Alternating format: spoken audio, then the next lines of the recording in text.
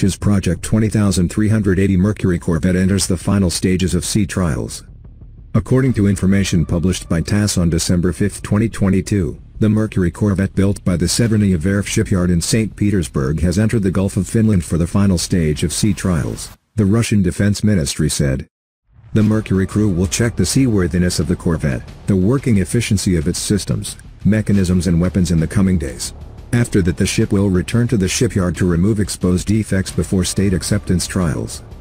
Mercury is the fifth Project 20380 ship, built by the Severnaya Verf shipyard, affiliated with the United Shipbuilding Corporation.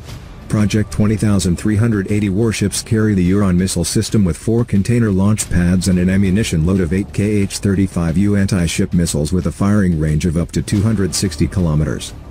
The corvette was laid down on February 20, 2015 under the name Retivy. The ship was renamed Mercury on October 15, 2021 in honor of the 19th century sailing ship of the Black Sea Fleet.